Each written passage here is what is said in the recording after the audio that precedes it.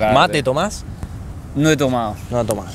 No, ah, o ¿nunca, sea, nunca probaste? no, Ah. nadie me ha, me ha dado a probar. bueno, yo no que- te voy a dar porque no tomo, así que.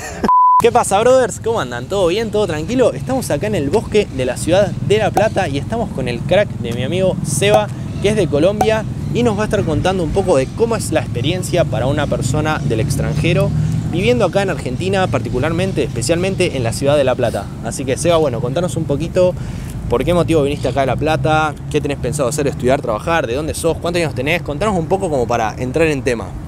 Bueno, eh, mi nombre es Sebastián Montes, eh, vengo del departamento del Meta, tengo 20 años y especialmente escogí La Plata eh, por el tema del estudio. Eh, bueno, escogí la Universidad de La Plata eh, porque sigue siendo la segunda mejor universidad del país, así que está gratis, es pública y reciben extranjeros, entonces había que darle y pues nos vinimos para acá. Genial. Y bueno, y contame un poco qué tenés pensado estudiar acá en La Plata. Bueno, eh, me vine principalmente a estudiar ingeniería electrónica y eh, también me han hablado, porque pues todavía no lo tengo muy bien presente, y es que se puede estudiar y trabajar. Así que principalmente estudiar, pero si sale Y si también sale la- el laburo, también le metes. sí, también. también. Perfecto, buenísimo.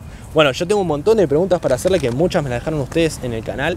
Así que, Seba, prepárate porque tengo una cantidad de preguntas terrible. Así Dale, que dale. arranquemos con eso. ¿Por qué te viniste de Argentina, particularmente a La Plata? ¿Y qué tiene La Plata que no tenga Buenos Aires? O básicamente, ¿por qué la elegiste? ¿Por qué elegiste la ciudad de La Plata?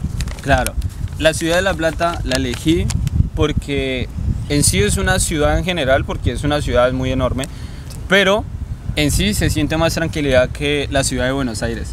¿Por qué? Porque tú llegas a Buenos Aires y sientes una enorme ciudad, tienes que aprenderte muchas cosas, así que escogí la, la, La Plata en general porque siento que es más tipo pueblo, pero O sea, ciudad porque es muy enorme y igualmente te vas a adaptar muy rápido. Tipo, llegas, eh, coges un colectivo y ya sabes, y esa es la ruta que te aprendes y llegas con esa misma a la universidad y es súper fácil. Tal cual. Sí, sí, es mucho más tranqui, mucho más cómodo que la inmensidad que tiene Capital, que Sí, tiene Buenos claro, Aires. exacto. Y como La Plata tiene sus diagonales, tipo, miras, eso es una diagonal, caminas hacia allá y allá, no te pierdes. Seguro te perdés No en la diagonal. Yo me sentí perdido, pero cogí la diagonal y llegué. O sea, Ya. perfecto. No hay como no hay punto medio. O sea, o te dejan cualquier lado Claro. o llegás al punto donde tenés que llegar. Ahorita, o la inmensidad de las plazas. Hay muchas También. plazas, parques pa- en Colombia. Tipo, caminas y no estás, o sea, según en donde vives, en el casco urbano, no vives a más de tres cuadras de una plaza. Claro. O sea, tipo, vives acá, tres cuadras, una plaza. Y hacia allá otra plaza. Esto Sí, está sí, lleno hay de muchísimo espacio público. o sea, así Exacto. para, para disfrutar también el. Si más que nada, si vivís en departamento, lo que hablábamos hoy, que estuvimos hablando un poco antes de hacer la entrevista, si vivís en un departamento, en un lugar donde estás un poco cerrado, está bueno tener estos espacios públicos que aprovechás muchísimo, tomar un poco de sol y salir de la parte. Y más que ahorita sí se necesita el Claro, sol. sí, sí, tal cual, que está haciendo un poco de frío. Esta está buena, a ver, ¿qué es lo que te impulsó a decir, sí, ya fue, o sea, me voy a Argentina y que sea lo que sea, o cómo, cómo fue ese procedimiento de, de tomar la decisión de, de ir, de a Argentina?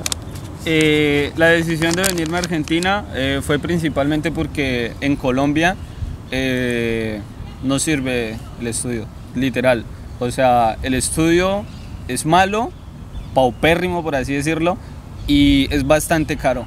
Entonces, comparemos, la UBA, que es la Universidad de Buenos Aires, es la mejor de Latinoamérica, o sea, está en el top de Latinoamérica, y la más cara del país de Colombia está en posición octava. Ah, o sea, Claro, y sí. hablemos de esas inmensidades. Y tipo, con lo que te pagas un semestre en esa Universidad de Colombia, vives un año acá. Un Claro. año. Hablando, con buenas comodidades. Hablando económicamente y adicionalmente por la calidad de la universidad. De la universidad, O sea, tipo las dos acá. cosas te cerraron por todos lados. Sí, o sea, dije, no, bueno, todo el mundo eh, te trata de decir, no, que por qué escoges Argentina, que Argentina está mal económicamente, pero bueno, sí, o sea, sí, sí, sí, los números te dan sí, por sí está, claro, sí, o sea, uno no, no tiene por qué esconder la realidad, eh, Argentina está mal económicamente, o sea, pero se sobrevive bien, o sea, tipo, creo que está mejor que Colombia. Bueno, vamos con otra pregunta. ¿Qué opinas de Argentina? Si te gusta, cómo ves la gente y cómo ves particularmente la ciudad de La Plata. ¿Cómo ves la ciudad de La Plata a un extranjero? Eh, bueno, particularmente La Plata, eh, para un extranjero, para Colombia, de la parte en la que yo vengo, no estás acostumbrado a ver edificios grandísimos. Claro. Así que tipo llegas y, o sea, te impone los edificios como tipo la cátedra. Son muchos edificios en los que vas caminando y miras así. Un Sí, te edificio llama la inmenso, atención, claro. claro. Entonces, es muy atractiva, es muy bonita. Argentina, muchos hablan de la inseguridad, y hay mucha inseguridad, pero yo camino por Argentina y me siento seguro. la verdad. Vos llegaste hace una semana, me Hace dijiste. una semana, Claro, sí. hace muy poquito acá Muy en poquito y las impresiones buenísimas. Buenísimas. Todo bien de 10. Genial. 10 de 10. Buenísimo. Y, ah, y otra cosa. ¿En Colombia en qué ciudad estabas, me dijiste? Eh, Villavicencio. Villavicencio. ¿Y es una ciudad más de campo? En plan, no, Eh, no hay tanto... tipo, sí, o sea, no hay edificios, por lo que me decís. Bueno, o sea, no edificios como tales tan grandes, Claro. pero sí, sí los hay, o sea, son tipo promedios. Claro. Está- Sí, sin tanta estructura. Claro, sin tanta estructura, claro. Pero como tú llegas acá y miras una catedral de neo, ¿cómo se llama? Es el neogótico. Neogótico, Sí. pues te Sí, quedas sí. así. Sí, sí, ¿Qué? 114 metros de... ¿Qué Claro, carajo es eso? una inmensidad. Sí, sí, sí, No, bien. y sí. No, pero estaba buenísima. Buena pregunta esta y que le va a interesar a muchos. ¿Cómo te fue con el alquiler? ¿Te fue difícil conseguirlo? ¿Se te complicó? ¿Estás en departamento, en residencia, compartiendo habitación? Contá un poco ese, ese tema que sé que a mucha gente le va a interesar y es un tema que preguntan muchísimo. Mira, ah, eh, por tu video eh, de Busco Pensiones, eh, busqué por todos lados, escribiendo, tal cosa. Todas están loco. ocupadas porque está muchos estudiantes acá, literal. Todo el mundo se viene acá a estudiar porque Claro. es buenísimo. Eh, otra cosa, eh, yo lo encontré por una amiga, porque me, tipo, me escribí con ella, ella me pasó el número de la señora, yo le escribí y había una habitación disponible. Y yo llegaba el 23 de agosto, acá hace una semana, Sí. llegaba el 23 de agosto acá y el 23 de agosto la desocupaban. O sea, literal, yo llegué y estaba desocupada Claro. ya. O sea, tocaba ocuparla ese Sí, día. sí, sí. Pero no hay más libres. Bien. No hay más libres. O sea, está muy copado. Entonces estás en una residencia. Sí, estoy en una residencia universitaria. Perfecto. Sí. Bien, bien. ¿Y departamento no buscaste? ¿No, No, no, no hice, no hice el intento de buscarlo porque no, no, no tenía como, digamos, porque aquí lo buscan es más fácil, eh, digamos, teniendo un compañero. O Claro. sea, tipo, cogen dos personas, vale 40, entonces 20 y 20, o 50, 25 Claro, 25. se dividen los Claro, gastos. se dividen los gastos. Ent- Pero como yo no tenía un compañero como tal, tenía que venir a buscar una residencia universitaria y me la encontré, así que... Y otra cosa, ¿cuánto estás pagando más o menos en la residencia? Que es un dato que, si nos lo puedes decir, buenísimo, porque es un dato que muchísima gente le va a interesar, más que nada para tener una referencia de, de que los precios que digo en los videos son posta y que están más o menos esos costos. Claro. eh, hay que tener suerte para encontrar algo muy bueno, Bien. muy bien ubicado y a un muy buen precio. Yo lo encontré un poquito retirado y me costó 31 mil pesos argentinos ahorita. Eh, tipo, puede subir.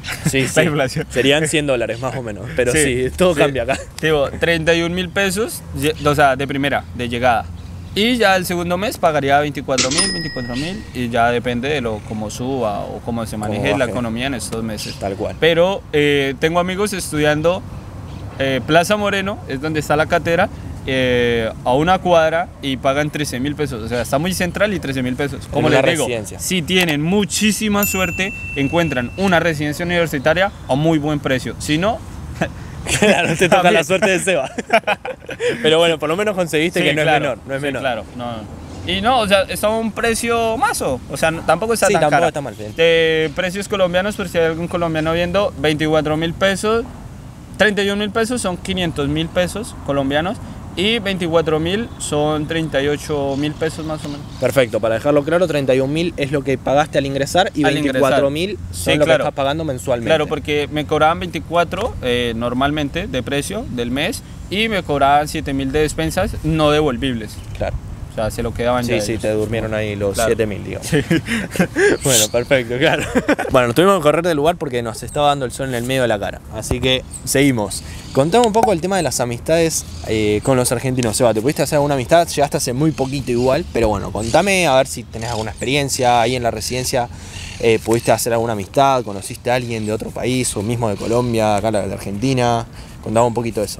Bueno, en la residencia en la que estoy hay colombianos, hay chilenos, hay una peruana y, y una venezolana. ahí, Bien. igual. Ecuador también, ahí. Eh, amistades con argentinos, eh, lo que es, o sea, lo que está mundialmente, ¿sí? Que la Argentina tiene su ego, que eso, que lo otro, pero, o sea, ellos sí andan en la suya porque todo el mundo anda acá muy apresurado, todo. Sí. Eh, pero, eh, sí, tipo, si necesitas algo, le hablas y literal Y te ayudan en todo, Bien. en todo. O sea, yo desde que llegué acá no, no tuve datos, no tuve nada. Y le preguntaba a la gente, la gente me compartía datos, me daban llamadas. Entonces, Buena es, onda. es exacto. O sea, es tipo solo hablar, porque listo, tú los ves y ya. Pero es hablarles y literal te ayudan en todo.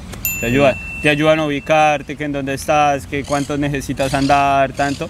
Todo Buena onda los argentinos, los aprobamos. Sí.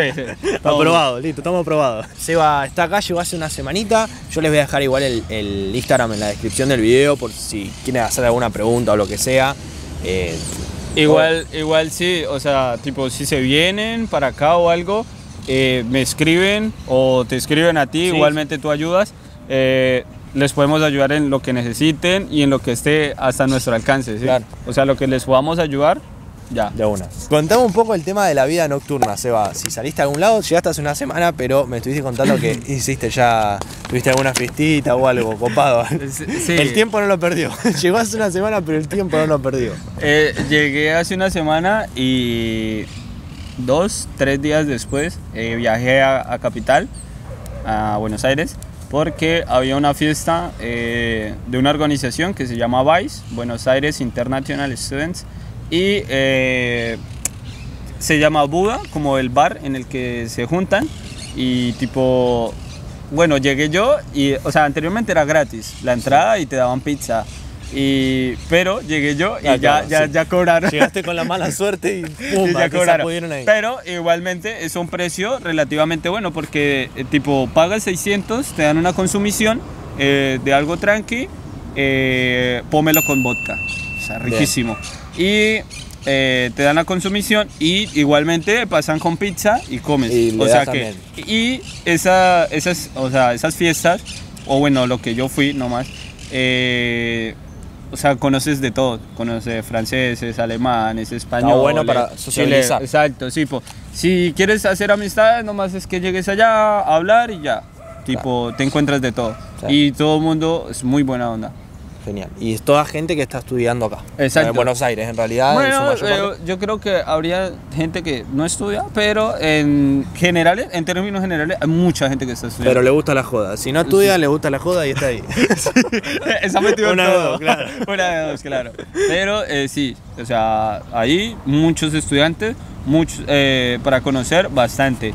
Yo me hablé con una francesa y si, por ejemplo, tienen el tema de que, bueno, pero ellos son franceses, el idioma, no, ellos Claro. lo tienen que manejar perfectamente para estar acá. Y te hablas con ellos con la mayor naturalidad posible. Hablan muy bien español. Bien. Y ya. Y si quieres aprender de ellos, nomás también igual les hablas y comienzan a intercambiar palabras y ahí vas conociendo mucho el idioma de ellos. Perfecto. Esto se unifica también con la anterior pregunta que era de formar amistades, que Claro. por ese lado tal vez si salís o tenés un poco más de, de intercambio en, esas, en esos lugares de boliches o en la vida nocturna, también puedes llegar a generar buenas amistades por es, ese lado. Es mucho el intercambio cultural. Claro. Claro. O sea, tipo llegas acá y encuentras de todas las partes. Eso es un intercambio porque ya empiezan a intercambiar palabras como lo que Sí. estábamos haciendo tú y yo, de que tú me decías, ah, que esa palabra significa eso, ah, pero para mí eso, y así, tipo, te encuentras con el dialecto de muchos países y te vas aprendiendo y te vas adaptando. El tema de la seguridad, Seba, ¿cómo lo sentís? ¿Sentís seguro Argentina? ¿Sentís que, que hay seguridad o te sentís un poco mm, incómodo, por decirlo de alguna forma, cuando vas caminando, al menos acá en la, la ciudad de La Plata o en Buenos Aires que estuviste, me decís? Bueno, eh, como, como les había comentado antes, para mí, o sea, hasta el momento, porque, o sea, yo hablo desde mi experiencia, pero para otros puede haber sido otra experiencia. Para mí, la experiencia 10 de 10. O sea, en temas de seguridad, no, no he visto que me, o sea, que roben una persona aquí enfrente, no. Todo tranqui, eh, puedes salir a caminar, todo, yo salgo caminando, a veces estoy en una videollamada y voy por la calle, pero igualmente Con con, cuidado. responsabilidad, claro, con cuidado. Y no he tenido malas experiencias hasta el momento. igualmente eh, uno no está obstante de que lo roben Sí, sí, o algo. que te llega a pasar que, algo, o claro, sea, siempre eh, con cuidado, como digo, y- Con cuidado y todo tranquilo. Claro. Ya, Bien. rela. Pero no tuviste ninguna mala experiencia ni No, nada hasta el momento tranquilo. nada, porque pues sí he visto de que digamos la inseguridad es mucha, de que tú estás acá y, y roban a alguien allá al frente. Pero esa no ha sido mi experiencia hasta el momento. Todo muy bien. Todo tranquilo. Bien. ¿Qué hábitos de la gente argentina te llamó más la atención? O sea, ¿qué hábito que viste que digo, "Mm, qué raro esto, qué me llama la atención, qué están haciendo, por qué, o cómo, cómo lo ves a eso? Si ¿Ves Bu- algo que te llame la atención? Bueno, eh, en general vas a Plaza Moreno y como son muchos cuadritos, hay un montón de gente sentada con su mate Sí. y todos están compartiendo. Entonces, no es algo que me parezca raro, sino que me gusta porque digo, eso llama mucho a la unión y es que acá los argentinos son muy unidos en- con sus amistades, porque por ejemplo, con un solo mate toman todos. Así que tipo, eso es una unión muy Sí. de ellos. Entonces, eh, o sea, es bonito verlos, que tú pasas por una plaza y tipo hay un reguero de gente sentada tomando mate, tomando el sol, así que es muy chévere. Ese es como el hábito que más he visto y igualmente también, eh, bueno, acá se ve mucho el, el tema de la marihuana por el tema de, bueno, dicen que es un hábito por el frío, pero pues igualmente cada quien hace con su vida lo que quiere. Una araña, boludo, ¿qué es esto? Video. claro.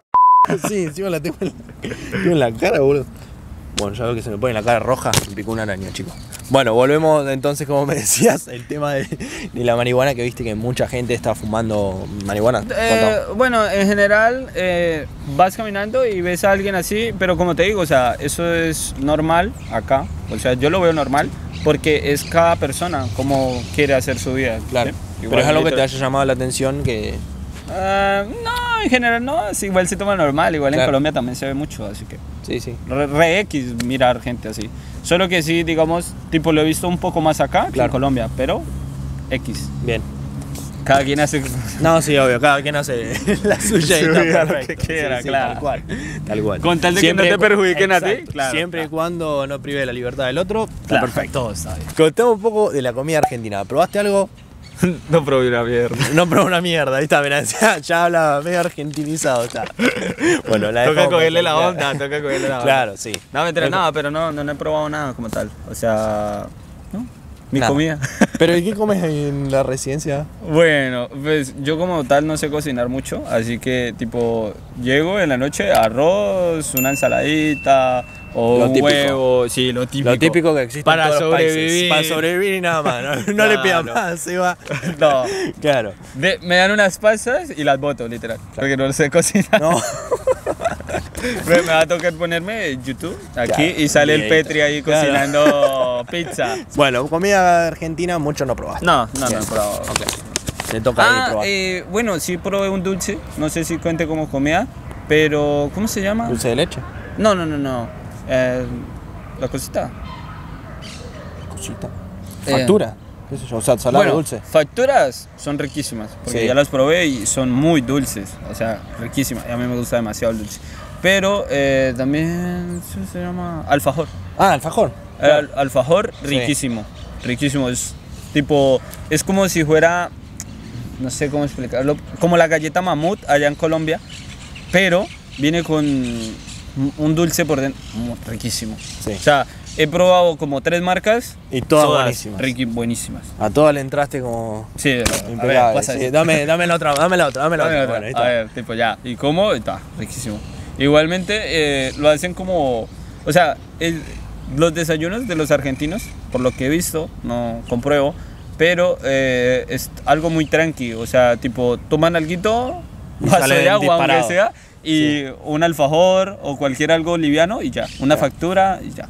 Todo tranqui. Una factura es como un pan allá en Colombia. Claro. Pero de dulce, dulce, claro, de dulce. todo dulce. Full dulce, sí. Sí, sí. Y- igual riquísimo. Digamos que muy liviano no es tampoco.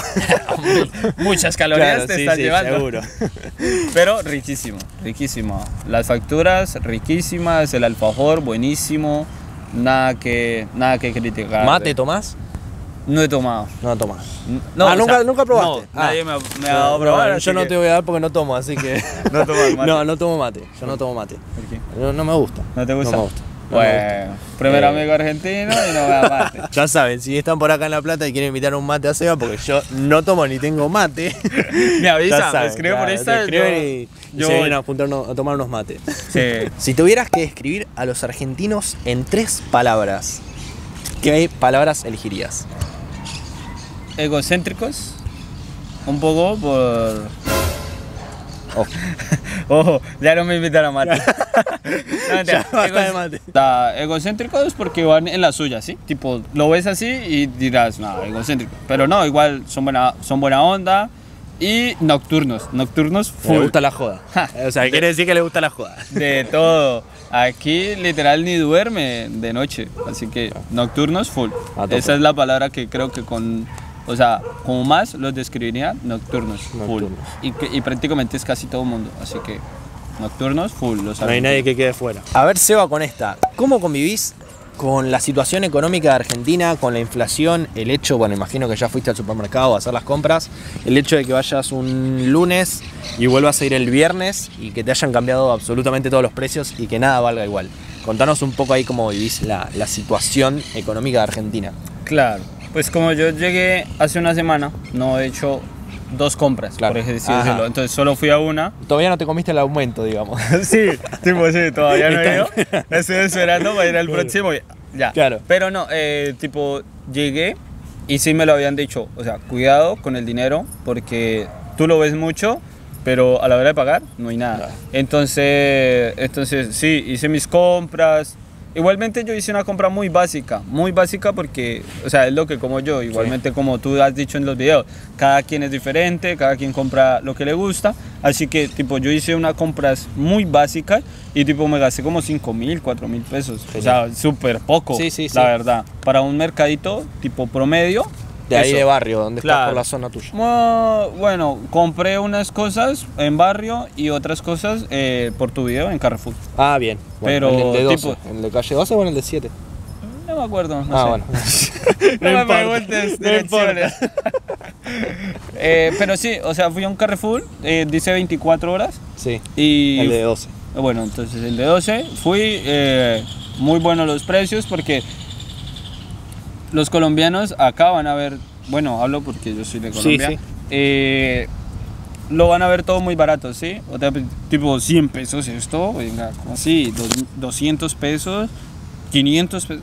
Pero a lo que llegas y tipo te hacen toda la cuenta, te sale un resto de plata. Claro. Pero entonces hay que tener cuidado con eso, o sea, hay que manejar el tema. Sí, pero tipo la inflación sí molesta un poco, pero está normal. O sea, sí está elevada, porque la inflación sí está elevada, ya casi está por llegar a tres dígitos, ¿no? Sí, al 100%. Pero eh, tipo está, o sea, para nosotros como si nos enviaran dinero del exterior nos sirve bastante bien.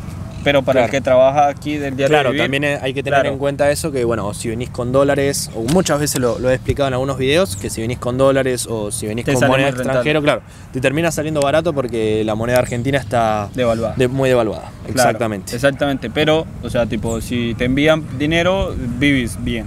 Claro. O sea, relativamente Sí, sí, bien. sí. Pero para el que labura acá es, Es pesado. complicado, Es complicado. ¿Para qué? Es complicado. Bien. Pero, todo. Contanos la mejor. No, arranquemos al revés. Contanos la peor experiencia que hayas tenido acá en Argentina o en La Plata, no sé, depende. Claro, fueron dos tipo random porque me perdí. O sea, llegué a- de Constitución, de Buenos Aires, acá a Trenes, Argentina. Sí. Y, o sea, me bajé y literal quedé.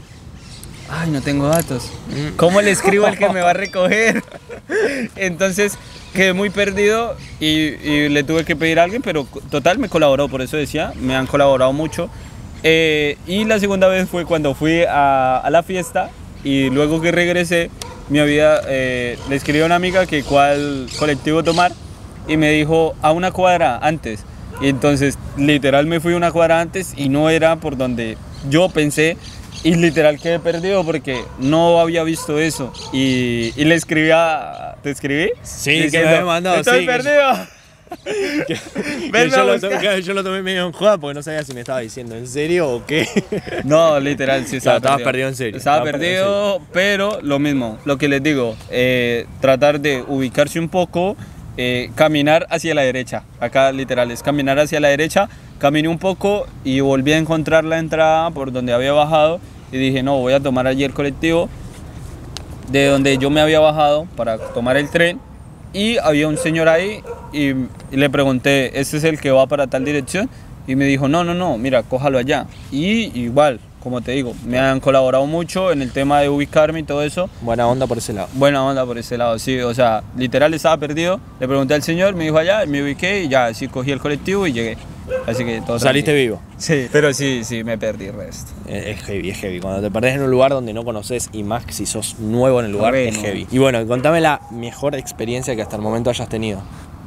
Bueno, pues la mejor experiencia sí fue como tal el tipo la fiesta, porque el intercambio cultural, lo Claro. que te he explicado, o sea, es súper chévere.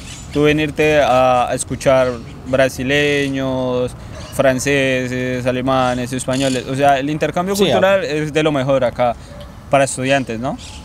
Ya, eso fue Sí, como aprender sobre otra cultura Claro, y también la sociabilizar con gente que está en la misma que vos, pero a su vez viene de otro país. ¿Te generó miedo o ansiedad eh, irte a vivir a otro país, tomar la decisión de venirte a vivir a Argentina?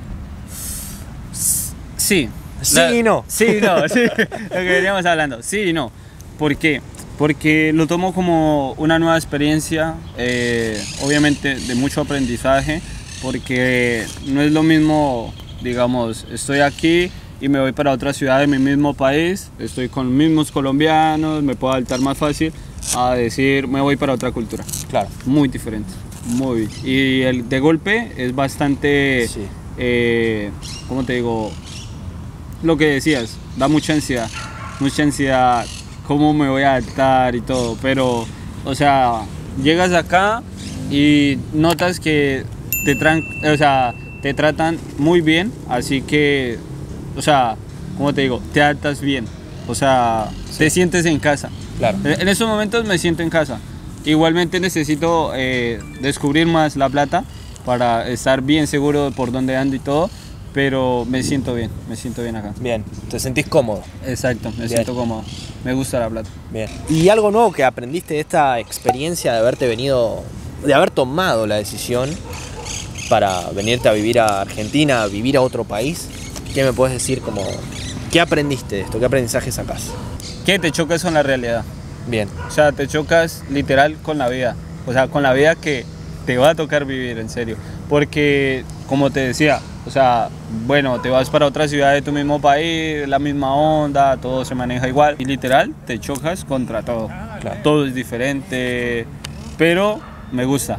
Me gusta el- está bueno. eh, la diferencia. Creo que es todo como aprendizaje. Todo lo que Todo, vos vayas a hacer todo, de ahora en más es todo, Todo- aprendizaje. Todo lo que he hecho hasta el momento es aprender. Bien, todo aprendiendo. Igualmente, eh, también tienes que venir con la mentalidad abierta de aprender de todo. Porque Sí. si te vienes con la mente cerrada, y de no, poner no te y sirve de de nada. chocarte la pared también Sí, creo, ¿no? sí, igualmente es como cogerte y darte golpes y no, no te vas a aprender nada. Tienes que voltear, seguir el camino Enfocado y, libre a todo lo que tengas que aprender.